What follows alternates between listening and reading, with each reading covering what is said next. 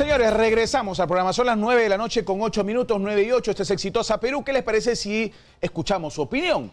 Llámenos. Un par de llamadas telefónicas del público. 251-9422-467-4499. Yo creo que el público es importantísimo para el programa. Hola, buenas noches.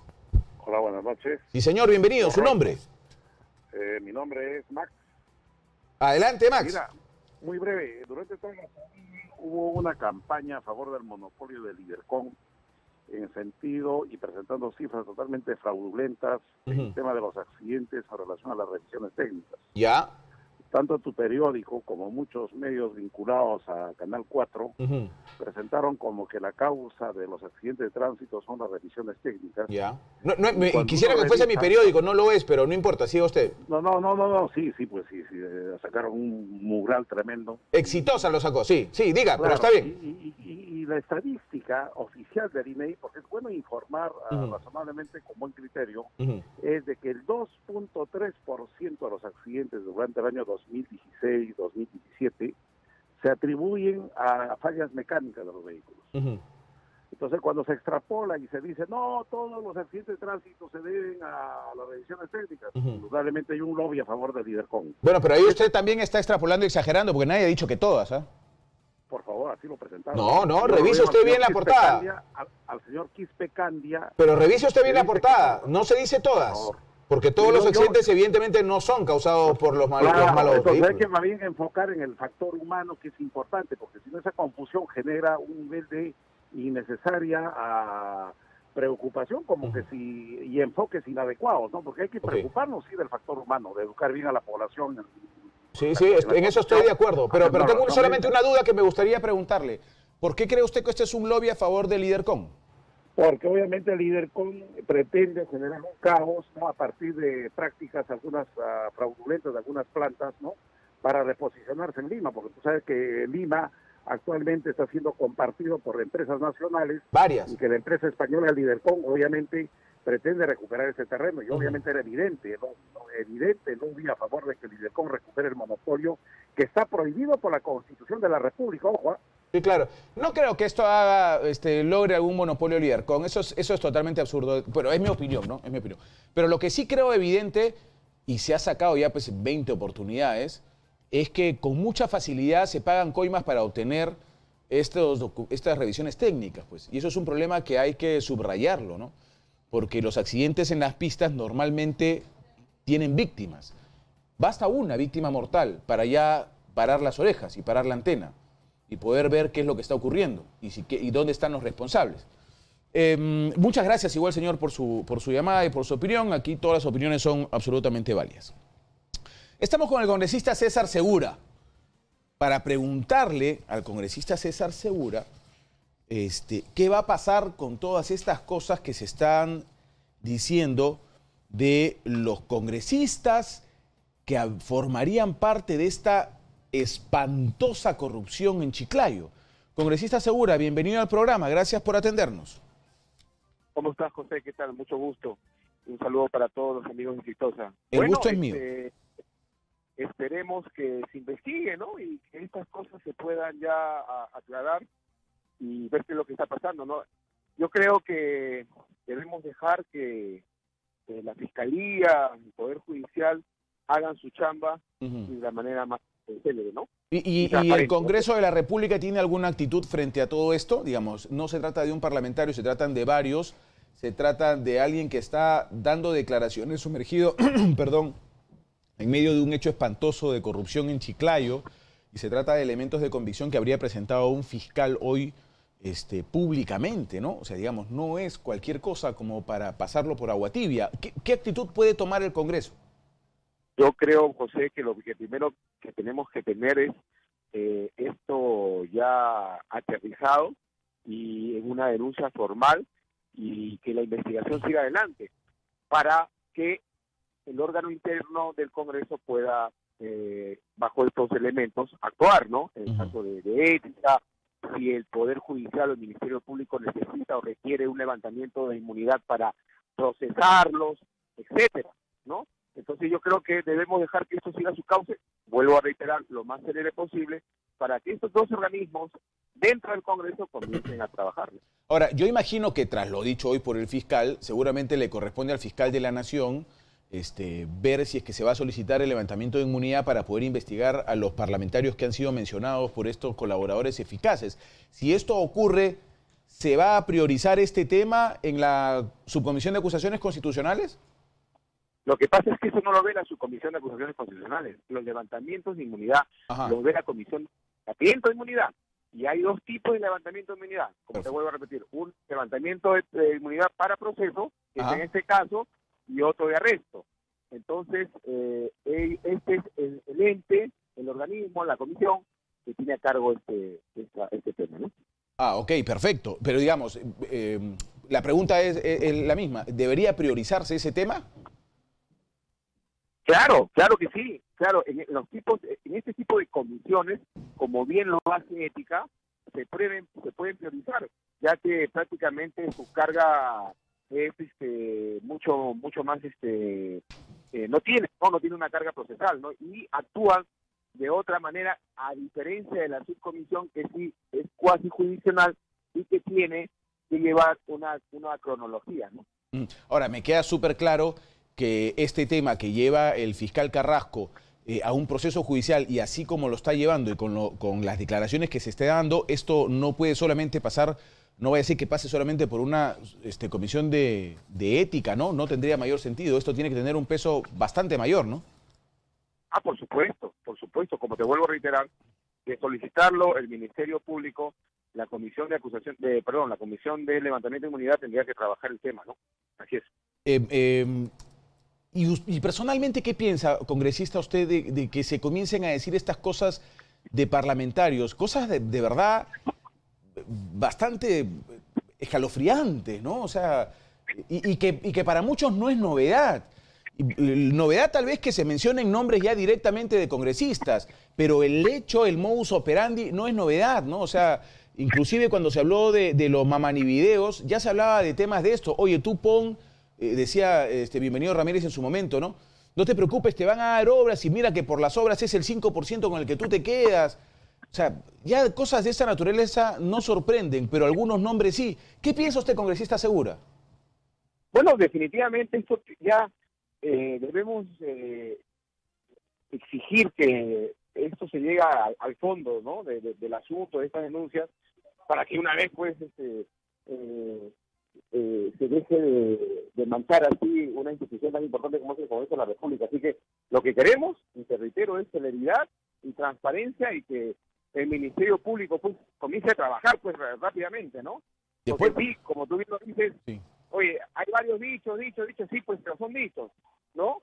Entonces debemos ya querer pretender que esto ya de una vez por todas ya se, se, aclare, ¿no? Y ah. que deben estar siendo juzgados ¿no? le caiga todo el, peso de la ley. Ahora, este, hay que recordar que más que dicho son declaraciones de colaboradores eficaces y para que sean considerados colaboradores eficaces, elementos probatorios deben tener.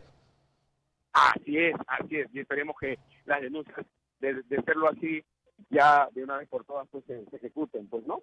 Yo creo que este, más de que de, mover así el, tema, ya de la, la fiscalía debería soltar este tipo de denuncias ya de manera concreta, ¿no? Y, ojalá que lo haga pronto. Eso tiene que hacerlo a través del fiscal de la Nación y ojalá que, que ocurra pronto. Muchas gracias, congresista. Usted, usted muy amable. José, a ti, muchas gracias. Muchas gracias. La verdad es que muchos congresistas no le da rasca-rasca a este tema, ¿no? Pero creo que a la mayoría sí. Que se hable de esta naturaleza de varios parlamentarios metidos hasta la familia, por en el caso de Héctor Becerril, hasta el hermano, los dos hermanos metidos en el tema eh, el tema del señor Velázquez que es reiterativo, porque no solamente está en este caso Chiclayo, también lo han mencionado en el caso de Tumán, este, con un colaborador eficaz que aseguró y describió una escena de entrega de dinero. Esto es escandaloso, ¿no? Y, este modus operandi ya había sido mencionado, ya había sido colocado. Yo luego les voy a leer lo que dice este, este este documento del fiscal presentado, este, este documento presentado a la cuarta, el cuarto juzgado de investigación preparatoria con respecto al fiscal eh, Concha, ¿no? Con respecto al fiscal Abel Concha, porque eso también es delicado. Eh, nosotros teníamos el compromiso del fiscal Abel Concha para esta noche contestarnos la línea telefónica y él responder. Pero eh, lo que me dice mi productor es que no contesta. me dice, le ha, puesto un mensaje. Me imagino, Roy, que esto es vía WhatsApp le ha escrito vía WhatsApp a mi productor y entendemos seguramente, este señor fiscal, eh, porque dice el fiscal que está en shock. ¿ah? Eh, nos pide las disculpas del caso, está en shock, no puede aceptar que un miserable haya usado su nombre para cosas malas. No quiero que esto se vea, se vuelva mediático y manche mi trayectoria bastante tarde para que no se vuelva mediático este fiscal. De verdad que le aconsejo un consejo hasta un conejo, no soy nadie para aconsejarlo, pero debería salir al frente, pues, este, y en lugar de estar en shock, es tener las cosas claras y responder a las preguntas de los medios de comunicación, porque esto es muy delicado y está usted invitado al programa. Cuando quiera, venga y dé la cara y, responda frente a estas cosas. Creo que es mejor así, en lugar de, encerrarse en, algún problema, ¿no? estando, estando en shock. Eh, dice también el lunes me han citado mis superiores para hacer mis descargos y a partir de allí saldré a los medios y decir la verdad. Eh, lunes, si usted gusta, 8 de la noche, fiscal Concha, mi mueble lo espera y yo también para las, preguntas del caso. Luego del corte voy a leerles lo que dice, lo que dice este expediente aquí en mano sobre el fiscal Concha y lo que habría sucedido en Chiclayo. Pero vamos a otro tema, vamos a cambiar de tema por ahora únicamente y hablar de otra cosa que preocupa demasiado, que es este tema de la acumulación de basura. Qué bárbaro lo que está pasando en distritos como Villa María del Triunfo. Eh, es muy preocupante por la cantidad de contaminación que hay. Claro, el ejército, por orden del, ministro y del presidente de la República, van y limpian un día. ¿no? Pero ¿y ahí qué, qué, va a pasar? Estamos con Catherine Riquero, que es vocera de la eh, y, es la directora general de gestión de residuos sólidos, ¿verdad? Bienvenida, gracias por estar acá. Buenas noches, gracias por la invitación. Me imagino que ustedes están tan preocupados como la mayoría de vecinos de la zona por lo que está pasando con esta acumulación de basura. ¿Qué hacer al respecto? Mira, desde el, esto de Villa María se viene ya suscitando casi todo el mes de noviembre, todo el mes de diciembre, pero en las últimas semanas se ha incrementado por el hecho de que este, Villa María el Triunfo tiene un servicio de limpieza pública mixto. Ellos tienen seis zonas y de las cuales cinco es atendido directamente por el municipio. Y desde el día 4 de diciembre, por falta de pago, la planta de transferencia donde ellos llevan los residuos para que luego sean llevados a un relleno sanitario, la planta de transferencia decidió cortarles el servicio. Entonces, tenían los camiones llenos de basura y no, de residuos y no tenían ¿Dónde, dejarlos? Entonces, guardaron esos camiones, las 10 compactadoras, en su maestranza y no podían recoger el servicio. Entonces, cómo los que trabajan en esa maestranza, cómo deben haber estado pobres, pobres trabajadores. Encima de los residuos dentro de los, sí, claro, por eso lo digo, por eso lo digo. Y las calles llenas de, residuos. Y, y, además, es que lo que acá hay este, es una cosa que no es tan difícil de tener sentido. Cuando alguien ejecuta una gestión, cuando le encabeza una gestión, tiene lo que se llaman prioridades. Y el recojo de residuos sólidos de basura tiene que ser una prioridad. Hay que tener dos dedos de frente para saber eso, ¿no? Ante, ante obras, ante la reparación de pistas, primero está el, manejo de los residuos, porque esto va directamente a una afectación de la salud de las personas, ¿no?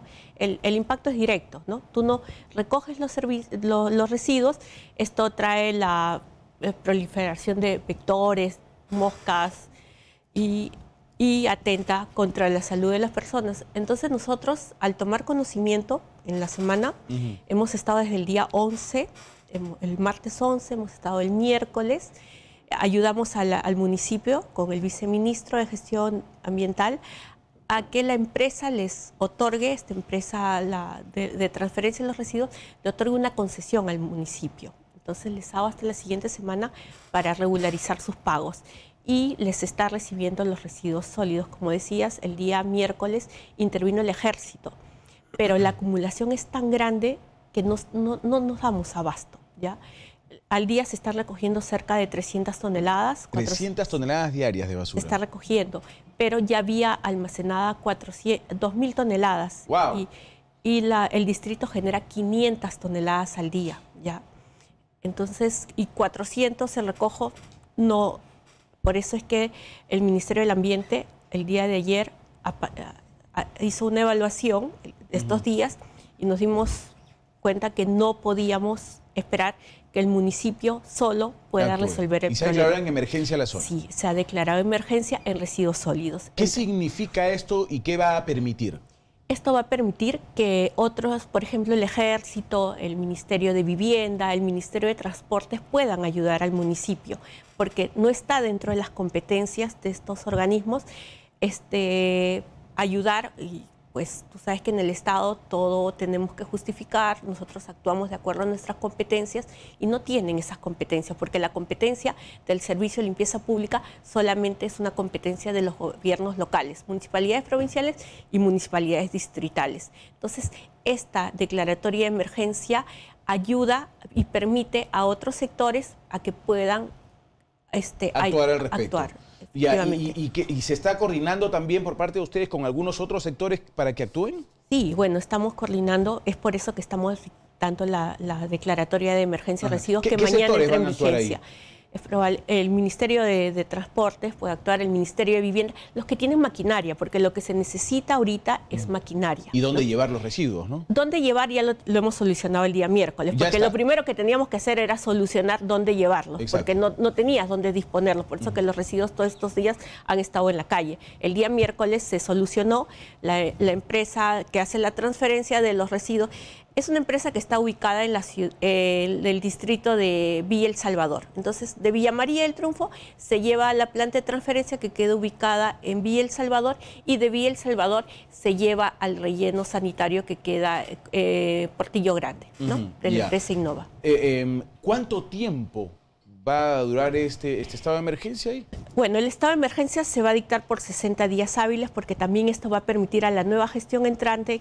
que pueda regularizar todo el, este flujo, ¿no? Porque esto no se va a arreglar de la noche a la mañana. 60 días hábiles. hábiles. Es decir, estamos hablando de fines de febrero más o menos. Más o menos, sí, que ellos ya también van a contar con presupuesto, pero la idea de la emergencia es que ya ya puedan entrar otros sectores y se restablezca en, su, en una parte el, servicio de limpieza. No, si entra, si entra en realidad el equipamiento del Ministerio de Transportes, si entra Defensa a ayudar con el equipamiento del, ejército, no, yo creo que sí se logra de todas el maneras. Día, el día lunes, por decir, esto, hoy día se han comunicado conmigo de la municipalidad de Ate, el alcalde, al enterarse que se estaba dictando la medida de la declaratoria de emergencia de residuos, este va el día lunes colaborar con este, polquetes y todo, ¿no? Claro, si, hay, varios distritos que colaboran, sí se logra, eso no hay, no hay problema. Porque lo que pasa es que esto está generando la descomposición de los residuos orgánicos y generan, pues, gases y todo, es insoportable y yo estuve ayer cuando estaban levantando los residuos, porque si tú pasas por, por el distrito es el olor, pero cuando empiezas a levantar los residuos, el olor que hay adentro es Claro, emanan todos los gases que se acumulan abajo de las cosas que se pudren, pues. Se, crean gusanos y las enfermedades producto de eso es terrible. Eso trae insectos y trae roedores. Sí, el día de hoy también estuvimos coordinando, porque acá también la intervención de Digesa, ¿no? Este, me comentaba el director general que iban ellos a ayudar con la fumigación, ¿no? Una vez que empecemos a levantar los, los residuos, ellos entraban con la fumigación. Ah, Hay que fumigar, ¿no? Sí, está es, bien. Es una serie de actividades, ¿no? Y todos los sectores estamos juntos para poder trabajar. Este es un trabajo en equipo también, para apoyar al, distrito, porque es un apoyo el que... Eso está muy bien, porque se está actuando. Sí, pero es responsabilidad, y no solamente con el distrito de Villa María del Triunfo, son todos los distritos. Era justo lo que iba a decir, y me parece muy bien que usted lo haya dicho. Eh, em, Está bien que se solucione el tema, que haya el apoyo estatal de este sector del Estado, porque la municipalidad también es, este, Estado, pero que haya el apoyo de este, de este sector del Estado, que se solucione este problema momentáneamente, pero quienes son responsables tienen que responder. Sea, hay que decir quiénes son responsables de que se haya acumulado de esta manera la basura, que no se le haya pagado al tema del de donde se reciben estos, estos, estas toneladas de, de basura. Responsables tienen que haber. ¿no es cierto? Es gestión ya, es un tema de la gestión administrativa de, los municipios, ¿no? no solamente con Villa María. hay varios distritos. hay varios distritos. Nosotros en el mes de noviembre hicimos una visita a 16 distritos. Hemos, hemos emitido un informe que se lo hemos enviado a la Municipalidad Metropolitana porque el, responsable de hacer las supervisiones a los municipios son, en el, en el tema de gobiernos locales, es las municipalidades provinciales tienen que supervisar a las municipalidades distritales. Y en un caso de, de estos, las municipalidades provinciales son las que tienen que, en un caso de desabastecimiento que está por decir Villa María, en este caso la municipalidad metropolitana es quien ha debido de liderar este tema, ¿no? Sí, pero ya le perdimos total confianza a la municipalidad metropolitana, ¿no? Este, uno entra a la municipalidad metropolitana y hay un cuadro, así como en las clínicas y en los hospitales de las enfermeras que están así, también hay un cuadro del alcalde así, silencio, él no habla para estas cosas, no habla de nada de estas cosas. Y efectivamente, la municipalidad de Lima tendría que haber actuado inclusive antes que ustedes, porque es responsabilidad de la municipalidad provincial. Eh, se olvida el señor alcalde que es alcalde de Lima, no solamente del centro de Lima, sino de los 43 distritos, y tendría que haber coordinado. Y si hay un distrito en esta situación, tendría que haber actuado la Municipalidad de Lima. Pero, la verdad, ya perdimos esperanza. Y esto nosotros ya se lo habíamos advertido en noviembre que Villa María ya era un... ¿Y tuvieron respuesta? Un distrito crítico, ¿no? Ninguna respuesta. ¿Qué otros distritos están mm, por llegar a esta situación? Comas está también es los dos distritos críticos que habíamos detectado, ¿no? O sea, Comas puede ser el siguiente distrito donde tengan que actuar. Sí, pero Coma no tiene la particularidad que ha tenido Villa María del Triunfo. Bueno, Villa María del Triunfo es por un tema también de gestión. Tuvimos un alcalde que estuvo preso, después otro alcalde que, que también le han dictado una medida de detención y la señora alcaldesa que está creo hace un mes, ¿no? Y que tuvo problemas con las credenciales hace un mes y bueno, tiene un mes de gestión, ¿no? Tiene personal nuevo. Bueno, es un caso atípico porque no pero en Comas sí tenemos un alcalde que viene de una gestión, ¿no? No es una gestión nueva, no es, una, no es algo como Villa María del Triunfo, ¿no? Claro, pero la situación también es crítica. Sí. También y, el alcalde de Lima tampoco va a apoyar. si, si, no apoya a Villa María, no va a apoyar a Comas tampoco. Este, en fin, ojalá que... Y, eh, bueno, la particularidad ahorita en Villa María del Triunfo es que le cerraron dónde llevar el, la basura, ¿no? sí, eso fue el, detonante. Lo que también ya está solucionado, por lo que usted me dice. Sí, está ahora solucionado. Muy bien, le agradezco mucho, Catherine Enriquero, muy amable. Gracias. Gracias por estar con nosotros, me parece la explicación estupenda y la solución también que se ha dado momentáneamente me parece de las mejores. O sea, una colaboración entre varios para ayudar a un distrito que está en crisis, porque los vecinos no son los culpables de lo que está ocurriendo en Villa María del Triunfo pero los responsables tienen que ser señalados. 9 con 30, me voy al corte y regreso con este documento. ¿Y qué es lo que dice este documento del fiscal Juan Carrasco Millones sobre el fiscal superior eh, Abel Concha Calla, que también ha decidido, por estar en shock, que hoy calla. Corte y regresamos.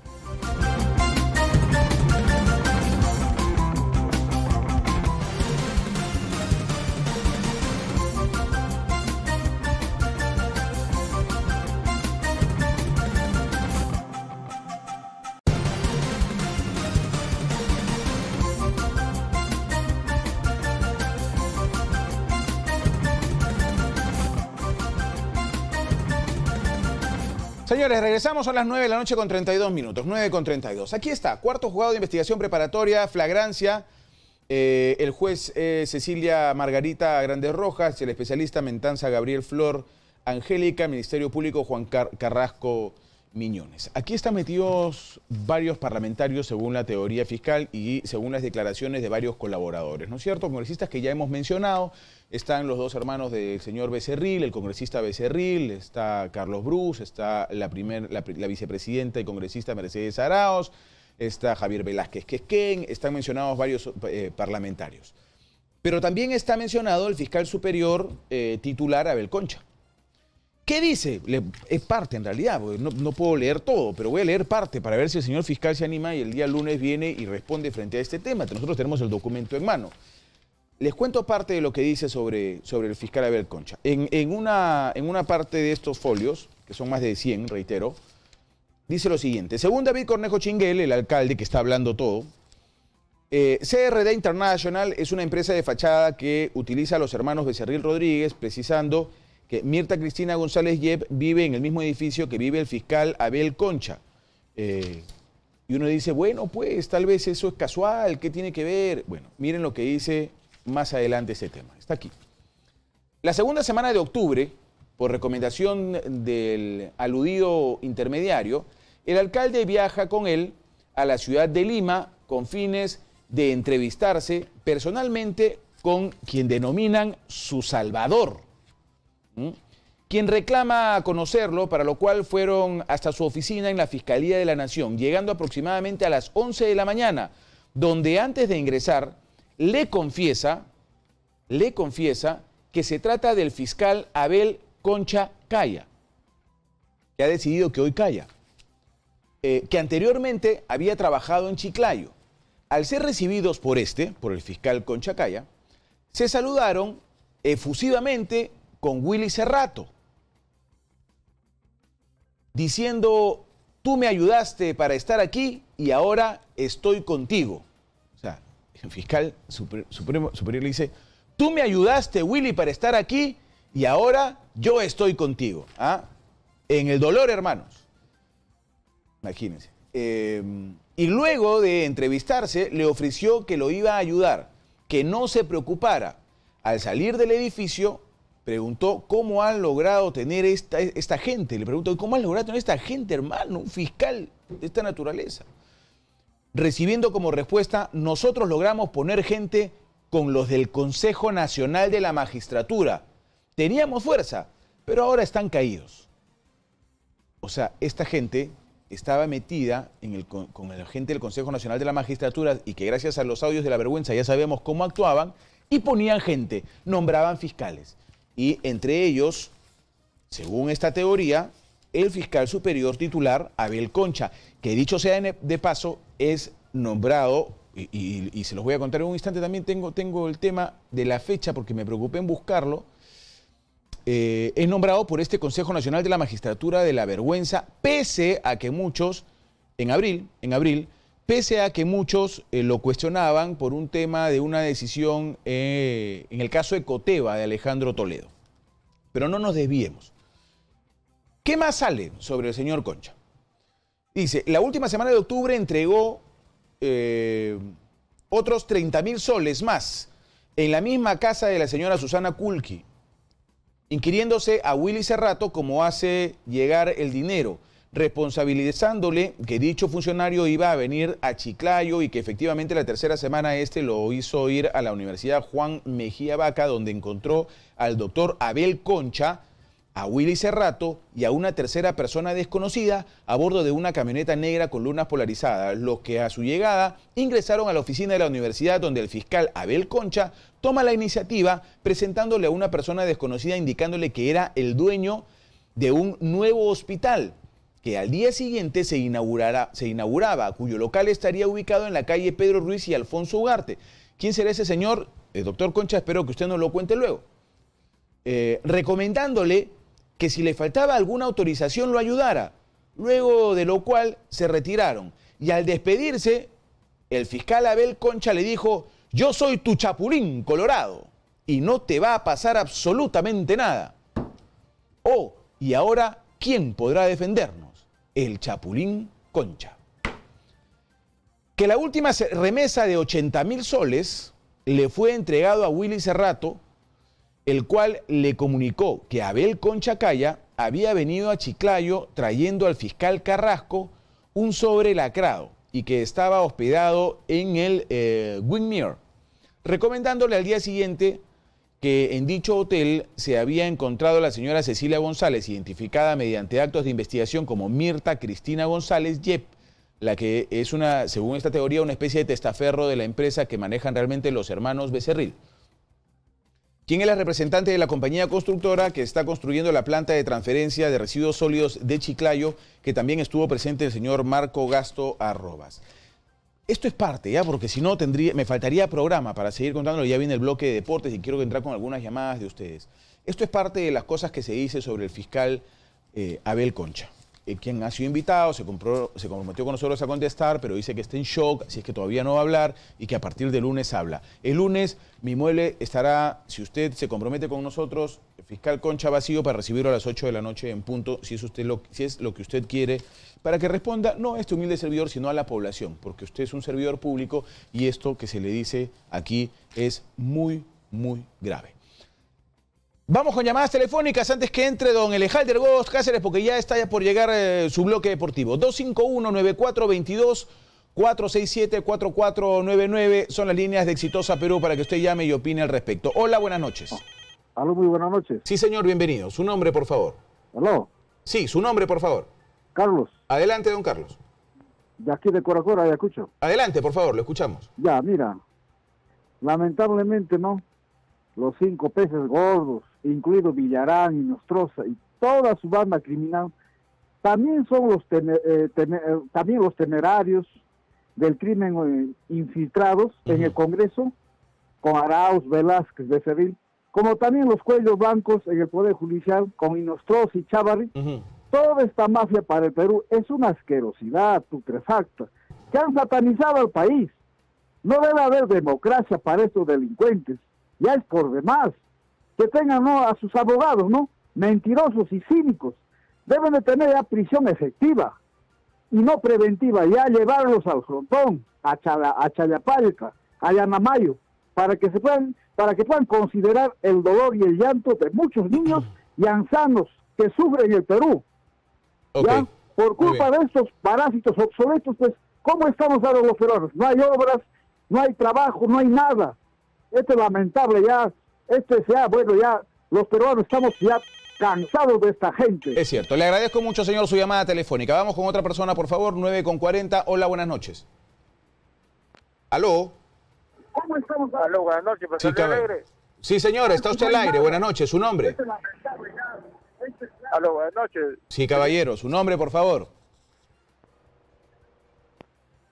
Señor, su nombre. Sí, aló. Sí, eh, su, nombre. Ricardo te saluda, Ricardo. Hola, Ricardo. Maestro, ya tú sabes la tónica, mi querido Ricardo. Bájale volumen a la tele, maestro. Bájale volumen. Sí, sí. Adelante, te escuchamos. Oye, Pepe. Sí. Este, tú te estaba escuchando hace rato que decías que hay mucha gente que ya, no se indigna y tanta cosa, ¿no? Sí. Es que nos han acostumbrado a esto. O sea, es, como parte de nuestras vidas. No, pero tú sí te indignas, no me digas que no, porque yo te escucho siempre, ¿ah? No, claro, o sea, pero ¿Qué queda, Pepe? De verdad, mira, eh, el nuevo el nuevo jefe del Poder Judicial, Letaro. Sí. Eh, ¿Has leído Hildebra? Sí. ¿Cuánta plata tiene? Sí, sí, claro. No seas, claro, no seas malo, o sea, el que llamó hace rato, o sea, el que me antecedió, sí. Eh, tiene razón, o sea, se indigna porque se siente impotente. O sea, nosotros como población, Pepe, porque tú, tú, te, tú haces catarsis cuando hablas y te desfogas, ¿sí o no? Pero a veces las llamadas no entran de mucha gente y, y, la impotencia es, esas, es lo más, o sea, ya no, no se puede entender esto, la impotencia es terrible. De nosotros solamente estar en la otra orilla, o sea, como, como ciudadanos, y ver todo lo que hacen estos políticos, mira, abogados, eh, opinólogos, defendiendo entre ellos, eh, indignándose por, por la prevención preventiva. Ahora seguro que mañana, pasado, sale Keiko Fujimori, lo mismo, la misma situación, y, esto no va a cambiar. ¿no? ¿Tú, ¿Tú, qué opinas? ¿Qué hacemos? ¿Tú qué, qué, dices? ¿Tú, Mira, yo, yo mi estimado Ricardo, no me ¿Ah? voy a rendir. Yo, eh, eh, yo no me voy a rendir. Mientras yo pueda seguir este, teniendo en mis manos documentos y venir a contarles la verdad, lo voy a hacer. Es mi chamba y es mi deseo. O sea, lo hago además porque me complace poder salir a la gente, como tú sabrás, porque creo que sigues el programa, este, yo no hablo sin papelito, no suelo hablar sin papelito. Es mi costumbre profesional, es un defecto de la profesión. Yo hablo con documentos. Y cuando puedo conseguir documentos como este, me indigno. Me indigno y se los cuento. Y les cuento qué es lo que está pasando en nuestro Perú. Personalmente, lo que yo voy a hacer es no rendirme. Y cuando tenga denuncias que hacer, las sacaré al frente. Y yo espero que la gente no deje de indignarse, porque cuando la gente se deje de indignar y todos veamos impávidos y no pasa nada y nos pongamos así todos pavos, este, apaguemos la luz y nos vamos todos, porque ya no hay nada que hacer. Por lo menos tenemos que ver algunos cuantos que todavía nos indignamos con lo que pasa en el país. Te agradezco, Ricardo, como siempre. Ha sido muy, muy amable en estar con nosotros. Vamos a darle vuelta a la página para algo que es mucho más relajante, ¿no es cierto? 9 de la noche con 43 minutos, señores, perdón, 9 de la noche y 43 minutos. Hora del bloque deportivo con el Ejalder Gómez Cáceres que viene con su tabla de Moisés. El avance deportivo con el Ejalder Godos y su tabla de Moisés. ¿Qué tal, Ejalder? ¿Cómo estás? Buenas noches, bienvenido. Gracias, Pepe. Buenas noches a todos los televidentes y oyentes de Exitosa Perú. En esta sección deporte digo que se ha convertido, atención, la Asociación Deportiva de Fútbol Profesional en rebeldes con causa.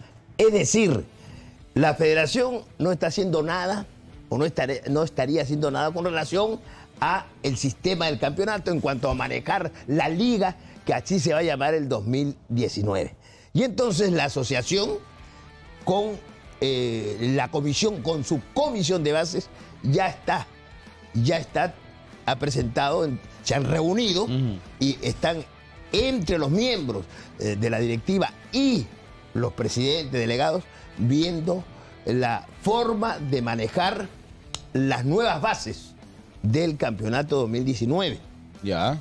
Porque, insisto, ante lo acontecido del expresidente de la Federación Oviedo, parece que la federación está de manos cruzadas. Pero como no se suponía... el campeonato comienza el día 15, comenzaría el 15 de febrero con bases como que no pasara nada y que normalmente la asociación hace sus bases y las eleva a la federación. Y la federación, este, si el señor Lozano es inteligente, recibirá esas bases, le hará algunas modificaciones y el campeonato comenzaría el 15. Eh, mi querido Alejandro, pero escúchame, ¿no se suponía que con Lozano eh, la relación con la asociación iba a ser otra y a mí, si conversamos y no sé reitero, la información que tengo es que la, la federación está de manos cruzadas y estamos terminando diciembre y es en están Pensando en, están pensando en la gratis. ¿Y cómo hacen? Tú, miembro de un club o presidente de un club, tienes que contratar. Porque el campeonato no tiene, para la federación no tiene fecha. Y la asociación entonces se ha abocado a ensayar bases, ¿no? Está ensayando las bases del campeonato. Pero, Incluso, sí, pues, eh, ríete y tiene pero es un dolor de pero, pero así están las cosas. ¿Cuántos, cuántos eh, extranjeros va a haber para el campeonato que viene? Eh, no se sabe. No se sabe nada. ¿Cuántos contratos? no, pero ya están contratando en base a una fecha, porque tiene que hacer un contrato a los jugadores y decirle de febrero a noviembre.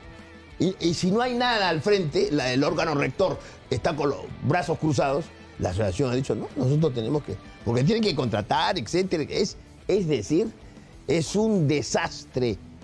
Le queda grande a la... y por eso decía, no, la federación no se puede. Lo único que tiene la federación, señores, es haber, y ahora buena, ¿no? haber clasificado al mundial. Nada más. Después no, no tienen. Pero que, no, es cualquier cosa. Clasificar al mundial no, no, no, La única cosa que tiene, y quiero terminar como caballito de batalla, a eso me refiero. o sea, lo, que estoy diciendo es que la, la clasificación al mundial ha sido pues una cosa impresionante. Está fuera de toda observación. Pero estos señores, en, en lugar de aprovechar esa coyuntura, lo usan como escudo, ¿no? Nada más. Que, o sea, el fútbol es la clasificación. Ya pasó, señores, la clasificación. Hay que ver el campeonato. Los equipos peruanos eh, están en Copa Libertadores, lo de Copa Sudamericana. Y, entonces por eso he, he, comenzado diciendo rebeldes con causa. O sea, porque la asociación mantiene a través de los presidentes, de sus presidentes, ¿no? la idea concisa y clara de que si los dejan a un costado, si no los consideran, ellos no participan del campeonato. Por eso digo, la otra posibilidad, que digo yo, estoy diciendo, si es inteligente Lozano, dirá, recibo las bases, ¿no? No me hago problemas, las bases de la asociación, que incluso eh, la asociación, según información que tengo, estaría pidiendo que se consoliden 18 equipos. Porque lo que dejó Oviedo era 2019, 18 equipos. 2020, otra vez 16 equipos. Y una de las observaciones que hace la Asociación Deportiva de Fútbol Profesional es que se juegue y se mantenga ya, digamos, para los 18 19, 20, 18 equipos. Pero mira esa cosa tirante de ida y vuelta que como que no encaja cuando la federación habló de que va a ser la liga. Entonces, este, eh, me parece bien. Ahora, la, la- la federación debería, me dice ¿Qué va a la recibir, recibir la- las bases que le envía la asociación y ellos tendrán un comité Claro. revisor, ¿no es cierto? Eh, y aprobar. No te olvides que eso se ha hecho siempre. Las bases salen de la asociación a la federación, la observación, hace algunas observaciones. Si tiene que hacerle, si no, visto bueno. y ya está, y, se acabó. Buenas noches, los pastores. Ahora, ¿qué pasaría si la federación dice esto no vale? ¿Cuándo va a comenzar el campeonato? Los contratos que tienen los clubes. Y además, ¿cómo van a conversar el campeonato? ¿Cómo y cuándo? Bueno, Universitario de Deportes no le dan el billete. La federación no le da los casi 800 mil sí dólares. Pero no es la plata de la federación. Sí, pero este, le- obviamente han saltado pues Grenco, salta Grenco, salta la SUNAT, esa es mi plata, dame la mía, etcétera, etcétera. Entonces, presumo, entiendo que la federación ha dicho mejor, tengo que, tengo que ver cómo es el asunto. Ya le han dado a Alianza, le han dado a Melgar y algunos otros clubes. Y la U, que es el que más necesita. Y el ¿no? que más va a recibir. y el que más va a recibir casi al borde de los 800 mil dólares, no le toca, hasta ahora no le sueltan el billete. Esto, eso es, este, digamos, peligroso para lo que significa el futuro de universitario. Pero no había una medida cautelar, ¿nos habías contado la vez Eh, pasada? Claro, este, había un fideicomiso. Ajá. Pero el Perú, pues, ¿cómo funciona? Hay mucha corrupción, Pepe, todo lo que está pasando. Y al propósito de eso, Oviedo ha dicho que lo están presionando. Sí. Jueces y Gracias. fiscales para que él Sea colaborador eficaz. eficaz y eche, entre comillas, ¿no? a los que tendría que echar. Y ha, hecho- ha- ha puesto su grito al cielo el ex presidente de la federación. Otro sí digo, como manifestaba, aunque copia poco, pero fue mi maestro y guía, Alberto Vex. Alianza, Alianza Lima, Sporting Cristal, Sporting Cristal será local, con hinchas solamente de Sporting Cristal. Sporting Cristal aparentemente no tiene problema alguno, golpes en algunos jugadores y presentaría el mismo 11, el mismo equipo que le ganó 4-1 a Alianza Lima el domingo. Partido fijado para las 4 de la tarde. Domingo 4 de la tarde, 4 Estadio de la tarde, Estadio Nacional. Se dice que ya no hay entradas a la venta. Ah, su va a ser un En- lleno total. Un lleno total. ¿Cuántas venta- Estamos cuántas entradas han vendido? De 40 mil personas. O va a ser una fiesta eso. 40 mil almas. Hay que aprovechar en el Estadio Nacional. En cuanto a Alianza, porque obviamente pues, eh, y el, el- el equipo del pueblo, etcétera, etcétera, y con lo que ha hecho en los últimos partidos, el señor Bengochea ha tirado, eh, me refiero a Bengochea, el siguiente eh, discurso. Yo confío en mis jugadores, les tengo fe a los jugadores y estoy a muerte con ellos. Pero además ha criticado a Federico Cunio, porque Federico Cunio dejó entrever el tema del árbitro Víctor Hugo Carrillo. ¿no? que ver La Federico duda, que- pero es una, es una situación, es una opinión personal del presidente de Cristal. Sin embargo, ¿no? Que se dedique a ver la parte Bueno, administrativa. Bengochea ha dicho, qué raro, cuando Víctor Hugo Carrillo dirigía a la U, dijeron que era hincha de la U. Dirigía a Municipal, era hincha Municipal. Dirigía, no, este, por favor. Y ahora es hincha de Alianza. Eh, eh, y no- y ahora dicen que, eh, bueno, ese es el, ese es lo que dice Bengochea. Aquí, evidentemente, un juego eh, psicológico de cada uno. Lo cierto es que Alianza haría como cuatro o cinco cambios. Ajá. ¿no? Y ese, digamos, ha sido la tendencia, como mucho se usa ahora la palabrita, de, Goy- de Bengochea cambiar Pero jugadores. para la final, cuatro o Pero- pero cinco lo- cambios. Lo, hizo, lo, lo hizo, digamos, y se equivocó. Él no quiere reconocer. Alianza, eh, Alianza jugó, jugó mejor. Yo no entiendo cómo jugando mejor, Cristal hizo cuatro goles. Lo que, repito, cuatro, lo que insisto es que Bengochea debió reconocer primero que el planteo, la estrategia, se la ganó el chileno Salas. Sí. Eso, eso yo creo que lo primero que debió hacer. ¿no? ¿Y, cuáles son esos cuatro o cinco cambios? ¿Se sabe ya? No. a ver, jugaría Guidino como lateral por izquierda. Riojas iría de central. Fuente pasaría a la. Ya hay otro movimiento ahí. Pasaría a la, a la volante. Garro jugaría por derecha. ¿No?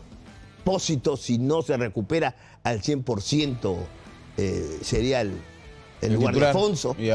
Podría conversar, eh, podría iniciar Vilches, es decir, va a mover el equipo, con lo cual para mí también mi lectura es que eh, Bengochea está algo desesperado. Desesperado, ¿no? Desesperado. Me has ganado, o sea, estamos, No, no, está bien, está bien, estamos que- conjugando la, la idea, ¿no? No, pero para hacer Sí, cuatro claro, cinco claro, cinco cambios, cambios para una final es porque está desesperado. está... Sí, sí. Está ¿Quién- bien. ni- ningún técnico para. Bueno, tú tienes mucho más experiencia que yo, pero algún técnico que haga esos cambios de un partido a otro para una final? ¿Cinco cambios? Ahora entiendo que se la va a jugar. Si es así, si fuese así, es que se la va a jugar. Y hay que considerar que si Alianza ha llegado ahí, porque todos esos movimientos raros le dieron resultado. Le- eh, o sea, si hablamos de resultados, le han dado resultado. Bueno, yo creo que se Ahora, la ha creído esa de la, uruguaya. insisto, eh, Pepe Rocha, que Cristal no es Melgar. Y eso es lo que tiene que meterse a la cabeza el comando técnico de Alianza, los jugadores que ya lo saben, y por lo tanto creo que va a ser un partido a muerte. Lo pongo a muerte entre comillas porque no es tanto eso, pero va a ser un partido de poder a poder. Alianza tiene historia, tiene su camiseta, que es una camiseta que pesa, ¿no? Y Sporting Cristal es un equipo que durante todo este descentralizado 2018 ha jugado mejor que el resto. Ahora, tiene que poner jugadores de experiencia como Vilches para que no sientan el peso de la tribuna también en la alianza, ¿no? Bueno, pero. Si me dices que hay este, 40.000 almas todos de sí, cristal. está- está- sí, reitero, bajo el arbitraje del FIFA, Víctor Hugo Carrillo, un árbitro manejador de partidos. Es buen árbitro para mí, pero maneja los partidos. Es decir, le encanta, le aloca y le fascina manejar los partidos. Una, una preguntita, escuché ahora temprano que probablemente Sala se vaya. ¿Se ha confirmado o no? Lo que ha dicho el chino Benavides, y con todo respeto al chino lo conozco, arquero de Sporting Cristal, y ahora gerente, es que Benavides ha dicho, yo no quiero hablar del tema. Si Colo Colo quiere a Salas, que hable con él. Que la gente de Colo Colo venga y hable directamente con Salas. Con lo cual está diciendo La puerta está abierta igual, ¿no? Sí, pero que eh, Sporting Cristal desea continuar con, con el técnico. Ah, no, sí, claro, si los está llevando probablemente al título, me imagino que sí, pero... No, y, y- y- y ha hecho buen trabajo este Salas. Técnico serio, eh, equilibrado. Ya, pero si está la oferta entre Cristal y Colo Colo, Pero tú sabes cuánto es la- el receso. O sea, la- el- lo, que, lo que tendrías que pagar. la penalidad. la penalidad por el tema de, de llevarte a- al entrenador debe ser alta. O sea, la penalidad debe ser alta. No sé, pero Colo Colo eh, quiere sí o sí eh, al técnico Salas. Y lo han tenido ahí.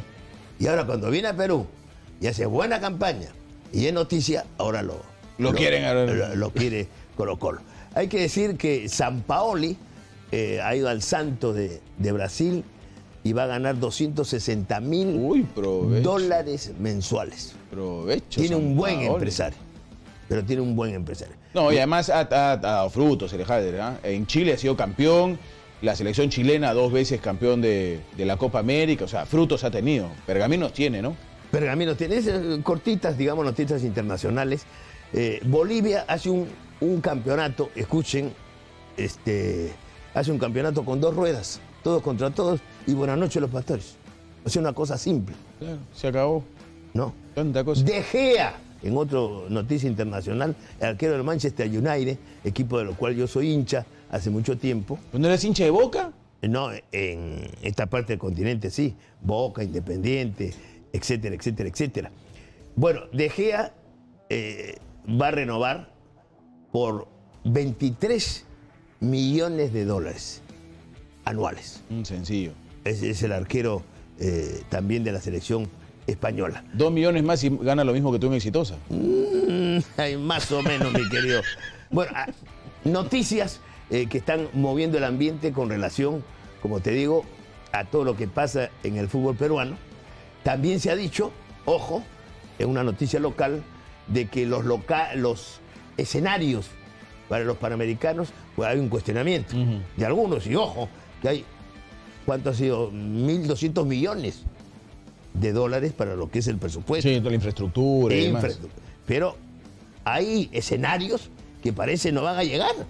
Uy, eso sería un problema. ¿no? Y- pero ha salido, ha salido la, eh, a inmediatamente negar la gente del comité organizador Sí, claro, ellos han, asegurado que todo llega. Y que todos los escenarios van a llegar en tiempo y espacio. En ese sentido, bueno, hay que creerle, ¿no? Pero de todas maneras eh, hay que investigar qué es lo que puede pasar con ese, porque no vamos a hacer, mi querido Pepe, un papelón. Sí, claro, no, se puede eso sería horroroso. El presupuesto fue aprobado y además a, la gente le digo que el Panamericano es una antesala de una Olimpiada. Imagínense, treinta y tantos deportes y las figuras que van a venir. Sin duda. parece que aquí no se sopesa el valor de estos Panamericanos que eh, deben, de, digo, de principio a fin, deben ser un ejemplo de organización. Sin duda. Muchas gracias, mi querido Jalder. Muy amable. Conmigo hasta el día lunes. Hasta el día lunes. Eh, hasta el día lunes aquí en Exitosa Perú, pero ahorita te vas para la otra. Vas a tomar, pues, va, a tomar el carro que te lleva hasta la otra, hasta, la otra estación. Claro, hasta, el otro set. ¿No es cierto? Porque hay que tomar acá un carro chiquito, esos tipo de golf, para que te lleven de un set a otro. Pues es inmenso este tema. Muy bien, señores, muchísimas gracias. Gracias por haber estado con nosotros, gracias por su compañía. Como siempre es un honor haberlos acompañado en el programa de hoy. Solo si Dios quiere, estoy el domingo a las 10 de la mañana en Defensa de la Verdad, nuevamente con ustedes. Lo dejo con eh, Exitosa Deportes Nike. Chao.